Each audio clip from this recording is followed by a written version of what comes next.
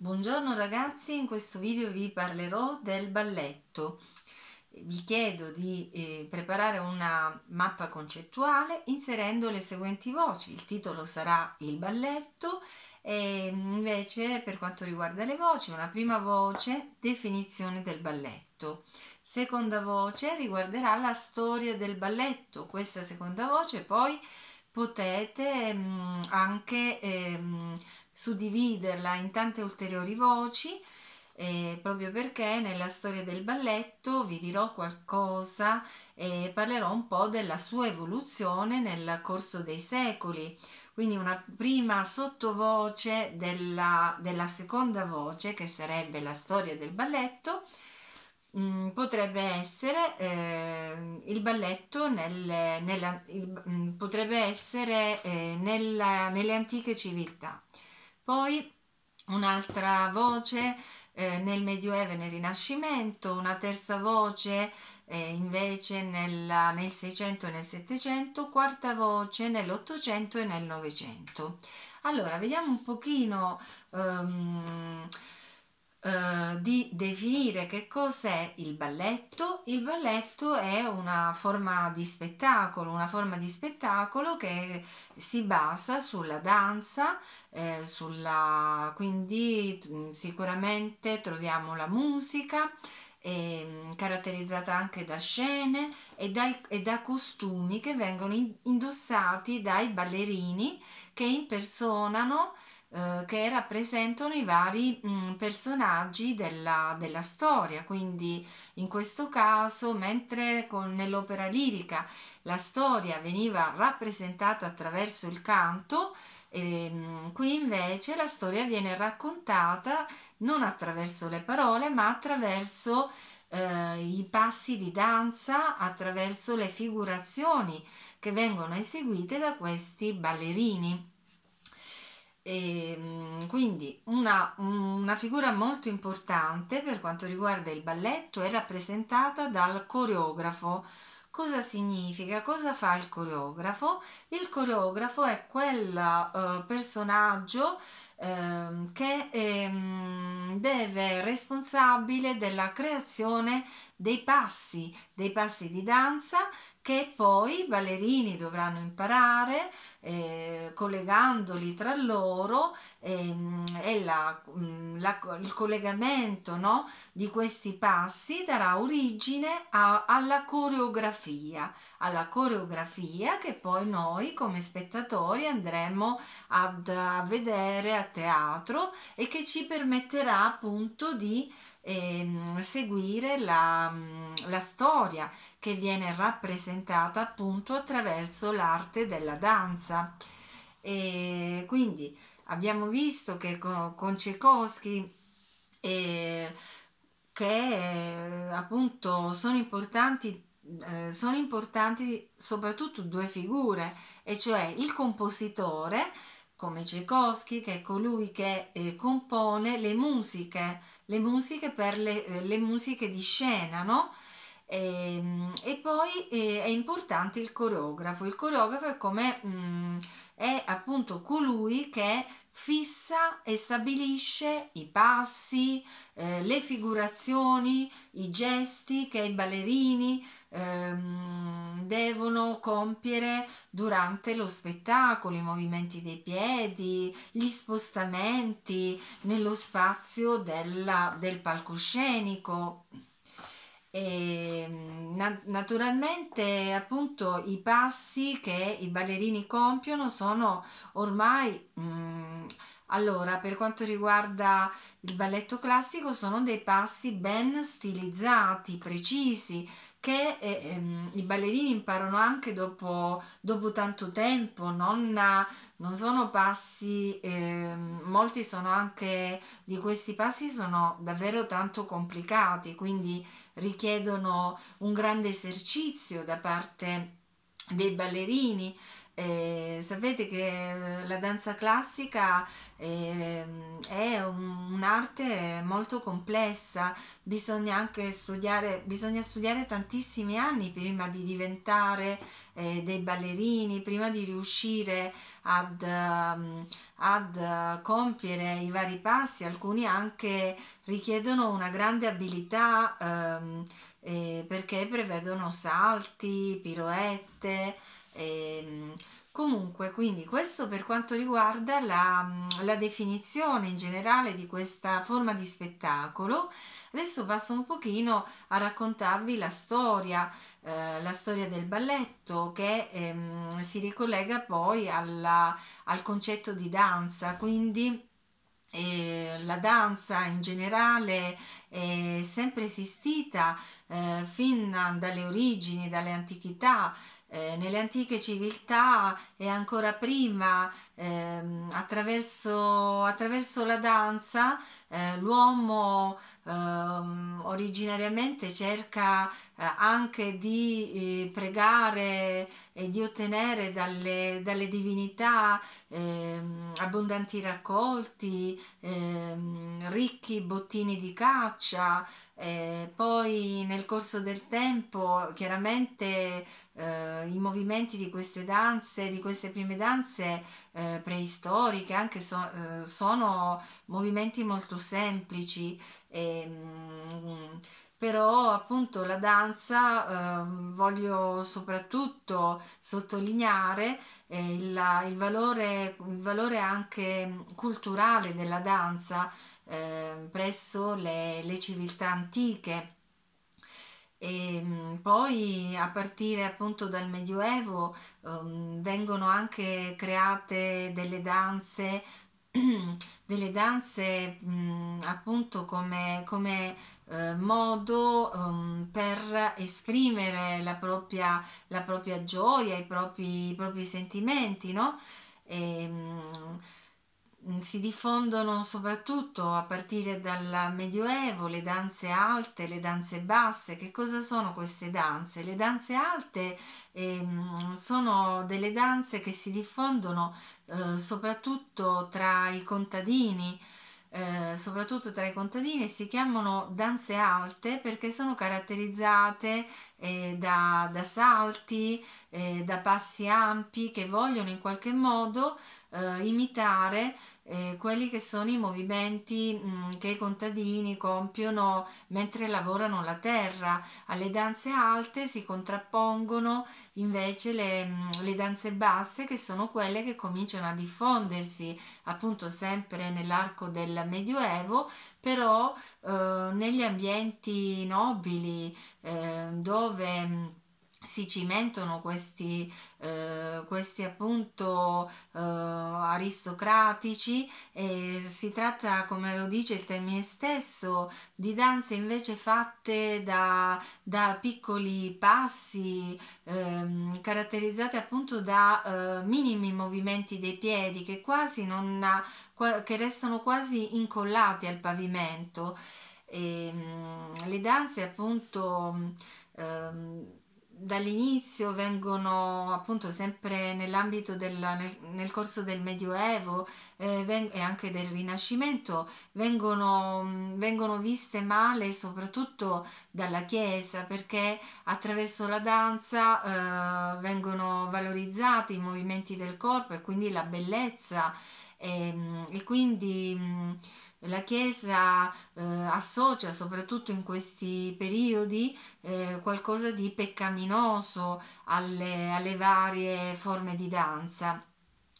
Eh, pian pianino le danze cominciano a diffondersi anche all'interno delle feste, dei primi spettacoli ehm, e quindi diventano degli intermezzi eh, in queste occasioni all'interno delle feste cominciano a ballare gli aristocratici, i nobili e a rispettare delle, delle prime mh, forme di coreografie che vengono creati dai cosiddetti maestri di ballo eh, questa figura diventa molto importante nel corso del, um, del Rinascimento. E, um, pensate che tutte le corti richiedono un maestro di ballo e, um, che permette poi di eh, annotare, raccogliere le varie, le, le, le prime forme di coreografie e di anche scrivere i primi trattati di danza.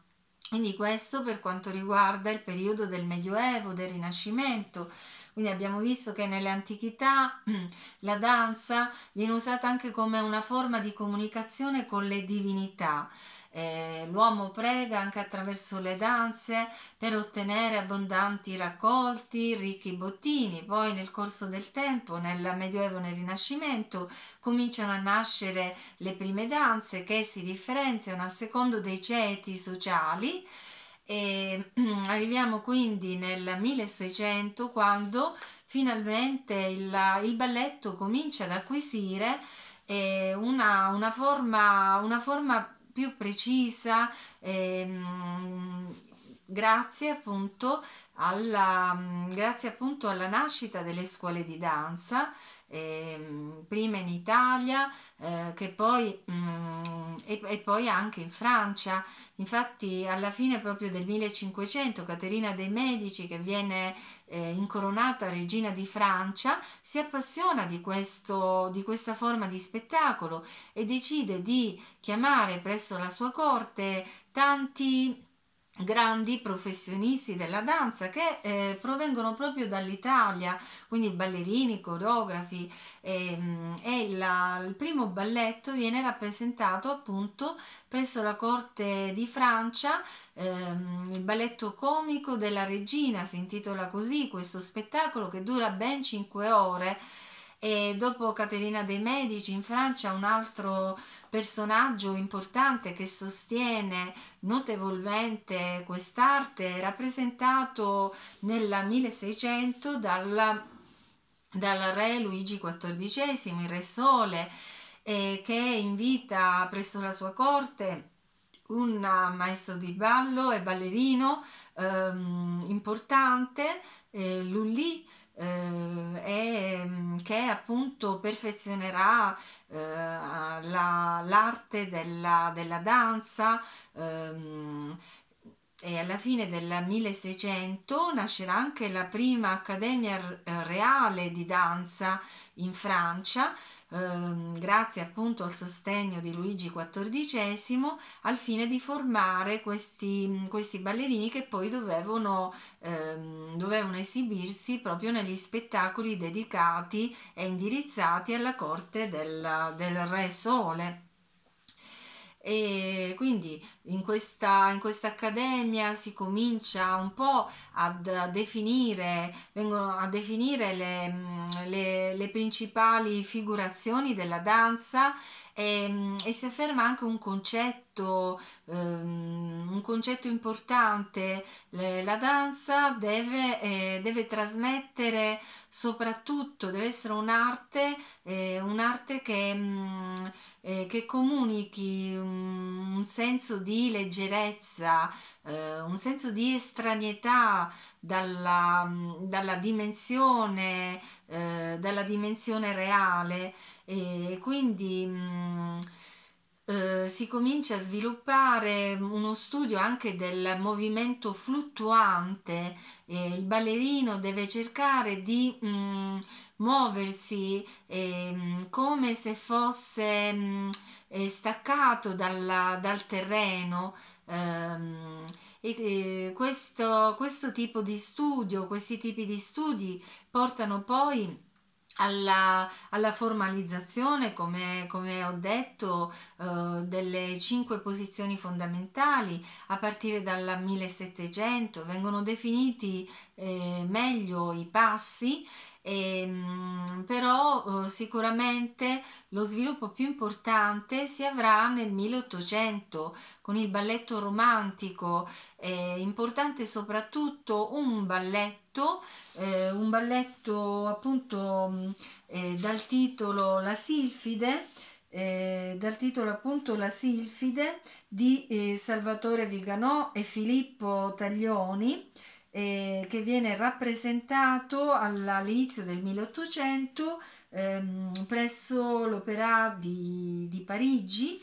eh, che riscuote un grande successo. Eh, in questo balletto la protagonista è eh, la, la, figlia della, del coreografo Taglioni, Maria Taglioni,